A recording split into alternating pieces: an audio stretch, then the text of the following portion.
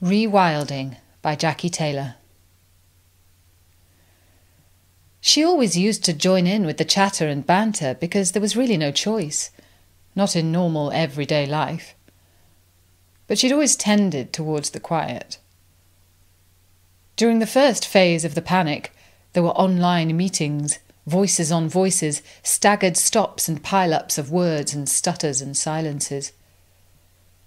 No one noticed that she was the one who muted first, who clicked on a thumbs up instead of speaking, who mimed her way through.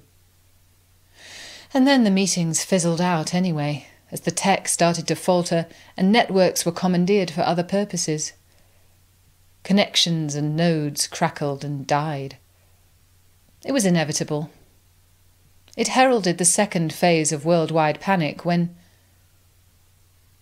Dogrose became Eglantine. Hawthorn became May, as weeks passed and the orders to stay at home came to her by megaphone from the sky. As months passed, her reversions continued. Honeysuckle became Woodbine. Aquilegia became Columbine, and her language circled back on itself, rewinding, rewilding, her tongue becoming whole and wholesome again. The old words were easier on the tongue and gentler on the belly. She could stomach them and keep them down. She stayed at home. She noticed the ragged robin and cuckoo flower. She began to feel the length of the day span instead of measuring it.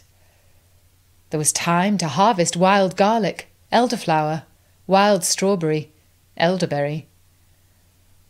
Sparrows colonized the wheel arches of the car that went nowhere.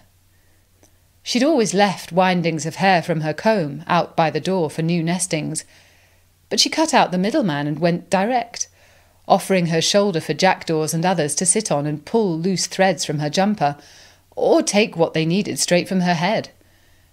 And if she needed to speak to a magpie or crow, why would she use her own words? It was all so obvious. It was only natural. She worried sometimes that she might lose words altogether, and if that happened, how would thinking be done? But it was worth the risk, and she liked her new ways. After the third wave, the threat subsided. She'd lost the way of counting by months, but knew that four longest nights had passed.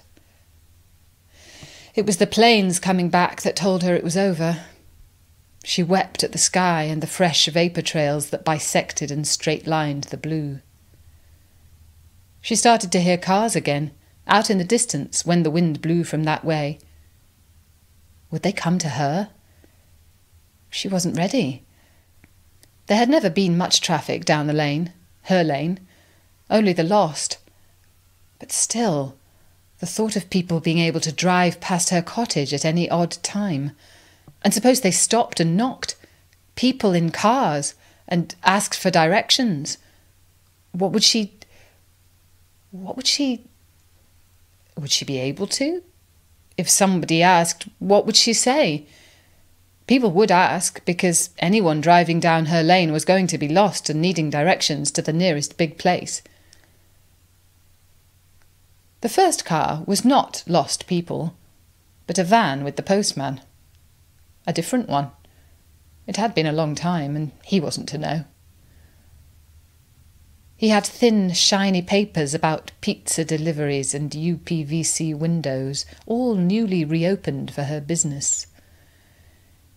He knocked on her door out of politeness to let her know that Normal was back. His eyes were black with sunglasses. She had to concentrate hard to decipher his words.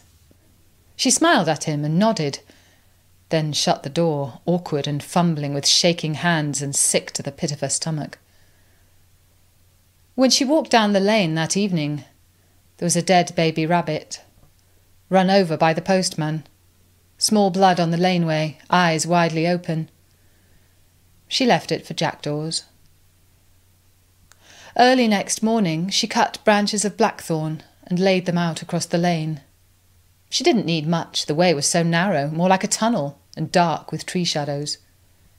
blackthorn like needles for stitching of leather. The postman's tire flattened.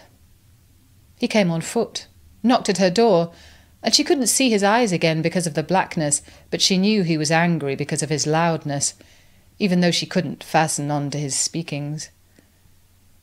She opened her mouth to make words back to him, but the words didn't come. And she was left standing in her doorway with her mouth wide, wide open but silent, as the postman walked away back down the lane and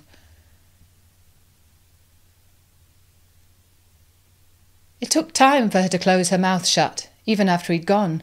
She just wasn't able. She wondered then whether she should make some effort. Had her life slipped too far off its fulcrum to be rebalanced? Was it too late to unlock and re engage her voice? But she felt no need to rejoin the cumulative noise of the world or to add to it in any way, even if she could. There was no going back and she wondered how many, like her, had found new, better ways.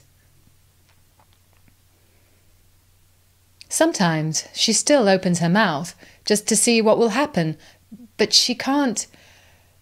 She just can't push the words out. Not even the old words, the ones that are easier on the tongue and gentler on the belly.